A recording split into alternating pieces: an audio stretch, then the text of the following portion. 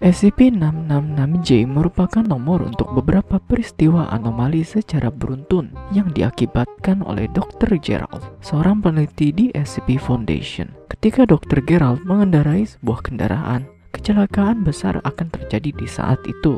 Bangunan yang ada di sekitar kendaraan yang dinaiki oleh Dr. Gerald juga akan runtuh dan meledak. Seperti tangki minyak akan menjadi bom yang bergerak, pejalan kaki yang ada menjadi tidak sadar diri sehingga melempar diri mereka ke jalanan tersebut. Anehnya, Dr. Gerald sendiri selalu selamat dari kecelakaan itu, mengesampingkan seberapa besar kecelakaan yang diakibatkan oleh kendaraannya. Dr. Gerald tidak diperbolehkan untuk menaiki kendaraan apa pun. Jika Dr. Gerald menaiki sebuah kendaraan secara tidak sengaja, maka diharap untuk mempersiapkan kantung mayat sejumlah banyaknya penumpang kendaraan tersebut, kecuali untuk dirinya. Pada tanggal diperintahkan untuk membawa bus sekolah yang berisikan di kelas untuk membawa ke site foundation terdekat. Ia entah mengapa berakhir di sebuah arena demolition derby. Untungnya, ia dapat menyelesaikan dalam percobaan yang ada di site tersebut dan dikarenakan itu, SCP-666-J pun dikonfirmasi keberadaannya. Dr. Gerald pun mengendarai sepeda listrik ke komplek perumahan.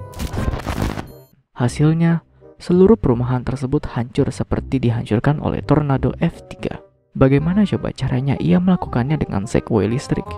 Sebuah tim penelitian berteori bahwa sepatu roda secara teknis adalah kendaraan, sehingga mereka pun menyuruh Dr. Gerald menggunakannya. Hasilnya, teori tersebut pun benar. Sebuah rencana sedang dalam proses untuk membuat sebuah kendaraan yang dapat menahan SCP-682 cukup lama di kendaraan tersebut untuk Dr. Gerald kendarakan.